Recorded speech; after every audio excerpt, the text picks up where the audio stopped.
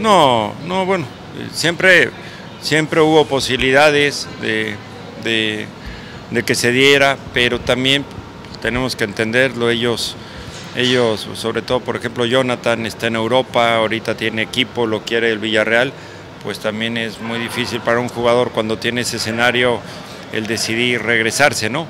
Pero, pero estamos agradecidos porque te digo, siempre en ese sentido hubo apertura de todas las partes, pero hoy ya se tomó una decisión, te digo, por las razones que, te comenté, ¿no? De que era más difícil el tema de Yona por, por lo mismo de que tiene opciones allá. ¿Ya está todo listo para la inauguración del, estadio? Ahí vamos, ahí vamos a marchas forzadas, se está preparando todo, se está muchísima gente trabajando para que el estadio esté eh, eh, en excelentes condiciones para el 2 de agosto, entonces bueno, eh, tenemos un compromiso muy grande con el estadio, con el equipo como se armó, entonces bueno, va a ser un torneo, un semestre muy interesante. Eh, ¿La afición de Monterrey con qué ilusionarse para este próximo? Yo creo que eso va a depender de lo que nosotros demostremos cada ocho días, lo que transmitamos dentro del campo de juego hacia afuera, es, es, es lo más importante. Te digo, hoy Hoy en cuestión de, del trabajo de escritorio ya se terminó con la contratación de Walter Gargano, ahora hay que concentrarnos y meternos todos de lleno en el trabajo del día a día y de cada ocho días en el campo de juego